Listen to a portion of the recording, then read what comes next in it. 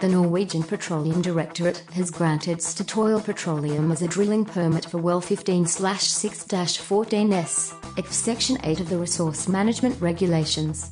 Well 15 6 14S will be drilled from the Maersk Integrator Drilling Facility, at position 58 degrees 34 single quote 19.36 north and 01 degrees 41 single quote 48.81 east, just north of the Gina Krog field in the central part of the North Sea.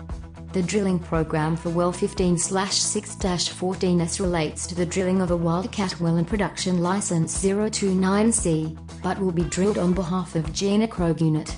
Statoil Petroleum is the operator on Gina Krog with an ownership interest of 58.7%.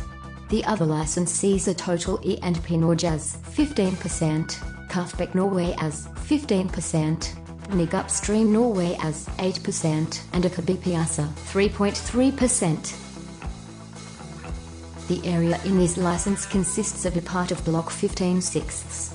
Production License 029C was awarded on the 17th of October 2012 after being carved out of PL 029, which was awarded in the second licensing round in 1969.